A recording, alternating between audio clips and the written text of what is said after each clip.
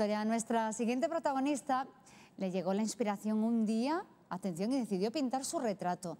No tenía nociones de pintura, pero para la sorpresa de todos se convirtió de la noche a la mañana en una exquisita retratista. Desde entonces sus manos no han dejado de pintar. Lara nos la va a presentar. Venía buscando a la Hipólita porque me han dicho que usted es modista de toda la vida y que me puede hacer un traje maravilloso. Uy, pues con mucho gusto te lo haría, pero es que esto ya lo he dejado, ahora soy pintora. ¿Pintora? ¿Ha pasado de la costura a la He pintura? pasado desde la aguja a los pinceles, a los pinceles que, que me relajan mucho.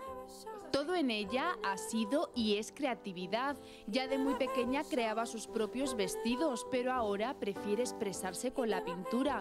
Aunque tuvo que emigrar a Madrid con su familia, tiene el corazón dividido.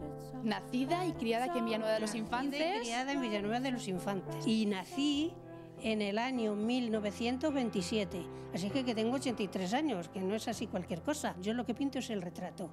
Yo so- nada, que soy retratista y ya está. ¿cómo descubrió usted que tenía este don?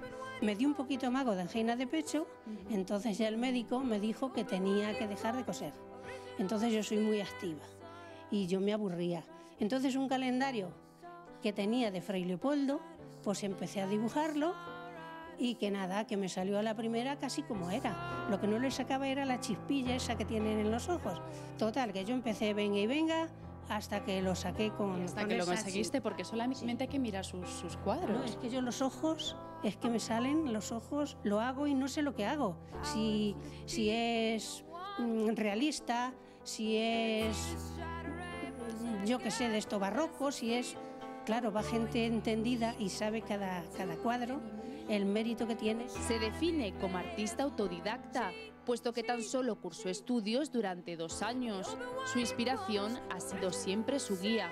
Al detalle, con 83 años no tiembla el pulso. No me tiembla. Nada. Nada, eso me dicen. Dice, pero bueno, ¿cómo para los ojos? Porque para los ojos y todo tienes que tener ahí un pulso y el pincel, que es un pincel pequeñito y muy fino, muy fino, para hacer los ojos, pues fíjate tú, pues nada, no, no me tiembla.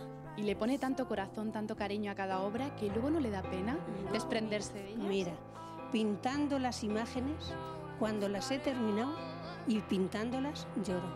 Y ya te digo lo que me inspira siempre, Fray Leopoldo. Y es que la verdad, como primera obra, es todo un prodigio. Carmen, la hija del artista.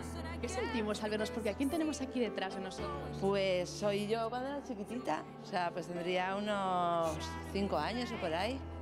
Toda la familia representada, ¿no? Pues sí, la verdad es que sí, es que no ha dejado, vamos, a nadie sin pintar. Y decimos, Hipólita, que tenemos repartidos tus obras por todos los sitios, porque ¿dónde estamos, por ejemplo, hoy? Hoy estamos en la ermita de la Virgen de la Antigua y Santo Tomás, donde tengo estos dos cuadros que los he donado para la Virgen y Santo Tomás, para que queden ahí para, para toda la vida, que los infanteños se acuerden siempre de, de mí. Y con toda seguridad lo harán. La calidez en sus colores, el realismo en sus figuras, pero sobre todo su humanidad quedarán para siempre plasmados en estos cuadros.